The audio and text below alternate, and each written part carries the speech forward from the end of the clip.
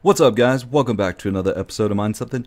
If you're new here, my name is Jake and in today's video we have a public service announcement to let you know that Txbit is closing down permanently. I want to read this notice to you guys so that you understand all of the details. It says we are permanently closing down. It has been a difficult decision and with a heavy heart and tears we announce the closure of Txbit services on September 14th of 2023. We understand that this news comes as a huge shock. Why is Txbit closing down? Due to adverse market shifts, including tightening regulations and ambiguity about the legal status of cryptocurrencies in various countries, we are ceasing all activities. In an environment where compliance costs are rising and our product margins constantly face pressure, continuing as before has become untenable for us. We began our journey with a distinct vision, but regrettably, the current environment prevents us from continuing. Regrettably, this marks the end of the Txbit journey.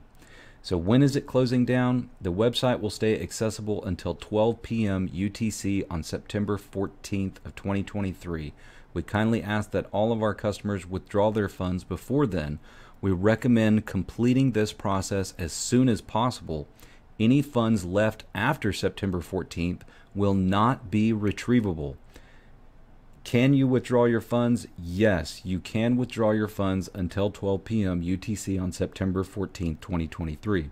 We expect many users will withdraw their funds in the first couple of days, so there may be a queue before you can withdraw or proceed. This may also apply to KYC process and the handling of support tickets. We do our best to process everything as quickly as possible. I want to give a shout out to Influence, who actually called this many months in advance. Uh, he posted this in Discord on April 13th of 2023. Txbit support have deleted all our last messages in Dynex Txbit channel regarding our inquiries. This was the last two messages I have posted. And you can see by this it says according to uh, this particular article here.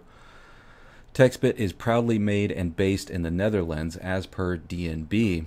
The company is not registered under Article 23b, providers engaged in exchange services between virtual currencies and fiat currencies.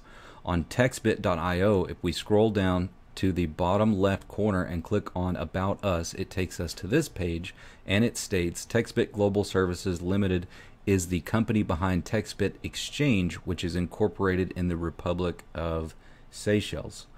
I could not find any license or registration records for Txbit and Seychelles Business Company registration records. Can anyone point me on where to find official Txbit license and registration information under what country and regulator the Txbit exchange operates? Now, I don't know for certain if they were able to find this information, but the warning signs have been there for a little while. So there may be some additional exchanges that start to face regulatory scrutiny. So I want you guys to please take your funds off of exchanges unless you plan on selling immediately. We don't know which exchange could be the next to drop, and you don't want to be in a situation where you're unable to get your funds out of there.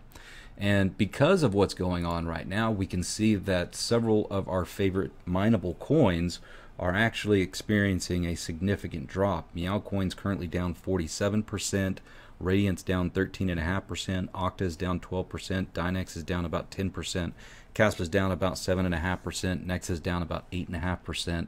So, you know, I'm not a trader, but this could potentially be a buy the dip opportunity or it could be a catalyst for some more downward pressure.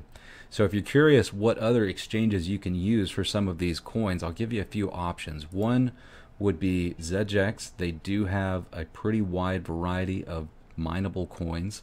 You also have Trade Ogre, which is what I prefer to use.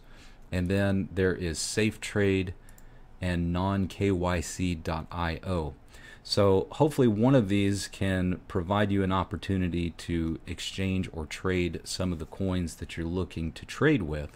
But in the meantime, just be very vigilant that things like this could be coming down the pipeline for a lot of exchanges. With that being said, I wish you guys the best of luck getting your coins off of Txbit. If you have it on there, stay tuned for additional information as it comes forward. Thanks for watching. Hit that like on the way out. And if you haven't subscribed, please consider doing so. And I'll see you on the next one.